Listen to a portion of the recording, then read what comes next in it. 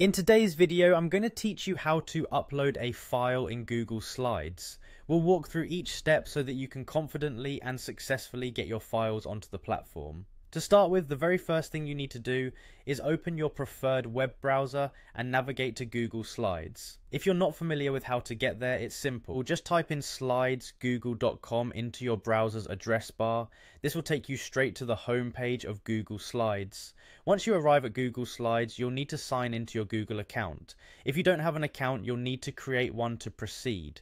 This service is part of Google's suite of tools, and having an account is imperative for saving and managing your presentations. Go ahead and enter your login credentials to continue. With the signing complete, you'll find yourself on the Google Slides homepage. Here, you have the option to begin fresh with a new slide presentation, or select from templates to give your presentation some early direction. Whichever you choose, simply click on blank presentation for a new slide, or browse and select a template that fits what you have in mind for your project. This flexibility helps cater to various needs, whether for personal projects, academic, or business presentations. After choosing your presentation format, you'll want to look toward the upper left hand corner of the screen.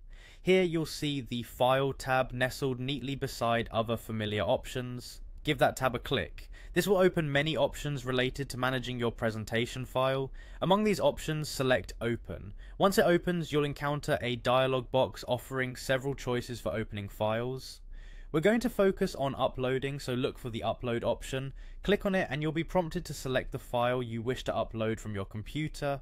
If your file is stored locally on your device, simply click select a file from your device. This will open your file explorer, allowing you to navigate to where your intended file is stored. Choose the file you want to upload and then click open. The upload process will begin and within a few moments, depending on your internet speed and file size, your file will be successfully uploaded into Google Slides.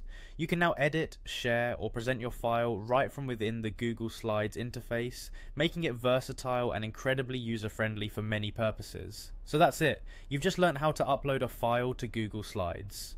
With these steps, not only can you enhance your presentations, but you can also ensure that your materials are accessible and easy to share. Thanks for following along and happy uploading.